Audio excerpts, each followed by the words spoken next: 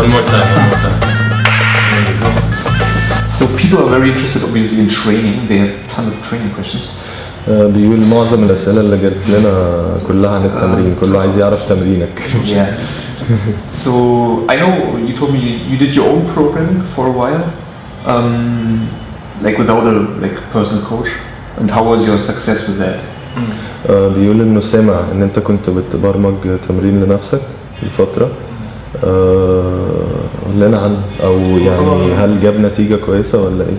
وانا لحد ما دخلت كليه Uh, so basically, he used to face the challenge of uh, programming for himself because uh, during his juniors period, uh, he used to have a lot of um, exams and a lot of studies that he has he had to attend. So he had to skip a lot of training sessions and a lot of competitions with the national team. So uh, basically, uh, this would lead to him uh, just programming uh, for himself. He would uh, use any knowledge uh, that he would gain from the coaches and uh, from his studies in the academy, and he would uh, just translate it into programs, self-programming. Um, when he was younger, how did his training change, change to, to when he got older? Like how did it develop? آه، ال- عايزين نعرف بس basically it's not as easy as everyone thinks uh, like he's saying that sometimes uh, when you're heavy like the heavier you get it's hard to to even approach the numbers that you used to do when you were lighter so it's not just because you got الاستشفاء بتقل وال... Yeah. وال... وال... والتعب بيزيد وال... وتلاقي العمليه بر- برضو الظروف الفسيولوجيه بتاعتك متغيره خالص آه، يومك مش مش زي اليوم اللي قبل كده انك متعود تصحى بدري تلاقي نفسك صعب انك تصحى بس بتاخد وقت يعني Uh, yeah, so it's not like it's not like you got heavier, so you're gonna automatically snatch heavier. No, uh, your muscles need to adapt. Uh, your whole life changes, like uh, your mentality changes because you were something and now you're totally different. So it takes a Yeah. lot of adaptation, and you get fatigued easier.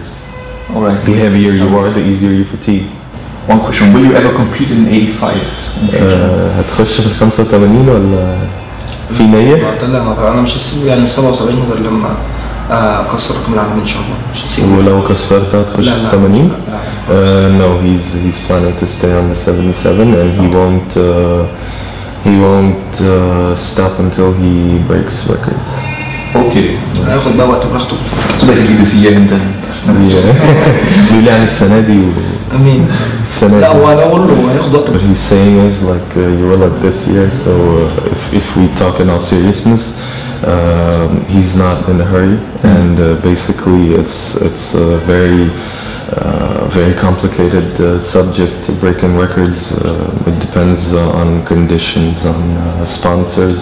Uh, right now he has only one sponsor company, mm-hmm. which is helping, um, and he's saying that that could be enough to to achieve something huge, but uh, it might not be enough to achieve something historic. Okay, this might be good. Another topic is sponsor deal, like how the whole support and funding in Egypt works. We should okay. probably touch that before.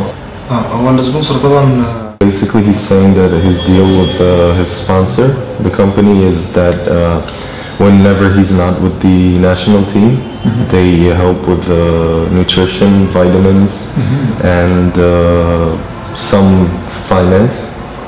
Uh, when he's with the national team, he gets finance. um exactly 3,000 uh, Egyptian pounds, which is the equivalent of um, a little less than a thousand dollars much less than $1,000. Okay.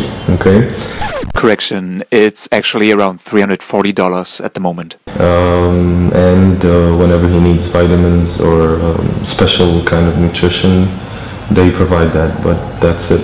That's it? Not more than that. Okay. Should I go ahead with the government? Should I ask yeah. the government? Uh, it depends on um, on what are we competing for. If we're competing for an Arab uh, an Arab uh, competition like uh, uh, the Mediterranean or Arab competitions, uh, basically it's very minimal. The support from the government. If we're competing for the world, it's obviously bigger. If we're competing for the Olympics, uh, you see the support that we have right now. Yeah. We're talking about arenas, hotels, uh, nutrition. because uh, the more they believe that their athletes are capable of providing a medal or getting results and winning uh, winning medals, the more they support them. And uh, right now, uh, we have the best support in Egypt's history. Back to training, like, or maybe we should touch the tax subject with his medals now. Sure, why not? Uh, he basically got three medals out of Houston. Uh, only one of them, which was the total. Uh, ده في كازاخستان الاول of Kazakhstan. اه في كازاخستان وبعدين لسه في وسط لسه ما خدناش المكافاه Oh, okay. He's, he's talking about Kazakhstan, the new one. Yeah. Uh, in Kazakhstan, he had uh, three to- three medals in total. Uh, the total medal, which was silver, was the only medal that didn't get taxed. Uh, the silver and the bronze, the other two medals, were taxed by 25 percent. 25% tax, and uh, this was very discouraging. He uh, he didn't like it at all because you can't negotiate something that was won for the country, you know, and that you should encourage the athlete to to, to continue and uh, to not not to not to drop down in motivation, especially considering that uh, Mohammed Hassan uh, had one medal and uh, he didn't get taxed on it. Then back to training, how far in advance is your training program like planned? Uh, how far in advance? Like how, like how is it a monthly basis? Oh, okay, I got it. Yearly? Uh, basically, uh, it's uh, planned for seven months. They know the program seven months ahead, but we're talking about the Olympics. So uh, the coach uh, meets up with the team, uh, takes them through the whole program for the next seven months. They get a copy of the program, uh, but that's not where they stop. Uh, they uh, they plan each session, each day, each week, and uh, they have to do a lot of preparation because sometimes they get uh, days off, and when they get days off, they need to know what's going to happen next week because if next week is going to be heavy training with the national team, I'm not supposed to uh, go through heavy training this week just because I have days off. Yeah. So it's all planned very carefully and uh, it's all thought of and uh, they have the exact percentages, the exact uh, uh, amounts of training, the amounts of weights, everything. What happens in, in the case he has a bad day and weights are feeling heavy? What wiggle room is there in modifi- modifying the program? اوكي uh, عايز يسأل على موضوع ان لو النهارده مش يومك يعني what he's saying basically um, if it's a bad day uh, that's not an issue at all for them neither for the coaches because they're very flexible when it comes to that because we're talking about huge huge stakes. They can't take a risk. You know they have to they have to stay healthy they have to stay safe uh, and you can always make it up like on another session. Like he's saying that um, training is not um, uh, is not a rule book Okay. it's a program to make you better. So uh, if today is not good um, I could give it like I could give it an extra effort but I need to stay on the safe side. If tomorrow we have break or like uh, uh, a sauna session or a massage session yeah I could I could risk it today because tomorrow I'll be fine. But if uh, tomorrow is an even heavier day no I need to tone it down today if I can't snatch whatever number today fine I'll snatch it another day Okay. Okay. اوكي فين نبدا بلندن نسالك عن لندن بعد كده نسالك على What happened in your London preparation, in your preparation for Olympic Games? آه، ايه اللي- إيه اللي حصل في ال في ال So uh, basically, what happened was um, uh, that was the time of the uh, January Revolution when the uh, old President Mubarak was uh, ousted. Okay. And uh, all the athletes were relieved. Everyone was training on their own. So uh, he had to purchase vitamins on his own. He purchased um, this specific vitamin that had something um, banned. It had banned substance in it. Uh, not contaminated, but it had It was it had something banned in it because usually uh, uh, each vitamin has its own, uh, you know, like uh, contents, and one of those contents were banned. So he uh, he tested positive uh, for the banned substance, and he was uh, disqualified basically for two years. Was it in competition test or out of competition? It was uh, nationals.